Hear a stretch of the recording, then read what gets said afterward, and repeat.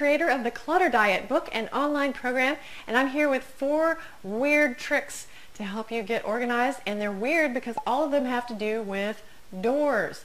I have run into so many situations in my organizing career that have to do with doors, getting in the way, not being utilized well enough.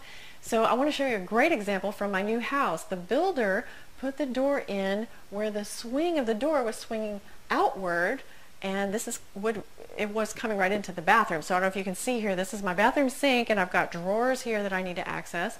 So this door was hitting right up against the sink every day. And then what was weird was behind here there's a wall and you can see where I have my necklaces hanging on this wall right now. That wall was on the other side so that it so easily could swing in and just hit that wall and not get in the way of anything so I did have them come and reverse the swing of this door. Now it pushes into the closet, into that short wall, and it gets in the way of nothing. It freed up my entire bathroom sink and drawer space, and it made all the difference in the world. So is there a door in your house that could benefit from reversing the swing? Think about that. Another thing to think about with doors is do you even need them at all? I've worked on many closets where we've actually just taken the door off. I had a closet in my old house that was our, our destination station where we had removed the door completely. Uh, I worked on this project for Woman's Day in 2013 where we removed the door. It was actually opening into the closet like mine, only they didn't have a short wall there. It was opening right into a bunch of clothing and it was just in the way. So we took it off, we put a curtain there so they can close it off if they need to.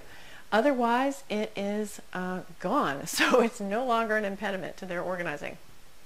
Another thing about doors is that they need to be treated like a wall. Think about it. It's the same as a wall, except it just moves on hinges.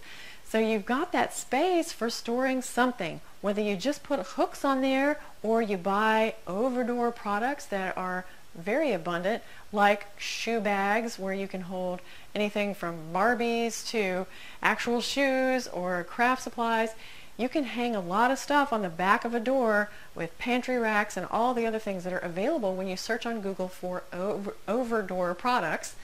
And this is making the best use of that wall on hinges that you have.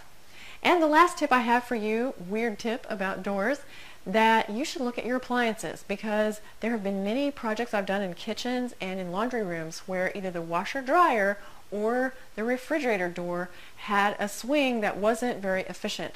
For example, when you're opening the washer, you're taking the clothes out and you want to put them into the dryer. If the door swing is um, the wrong way, then it's going to get right in the way of you putting those clothes into the next machine.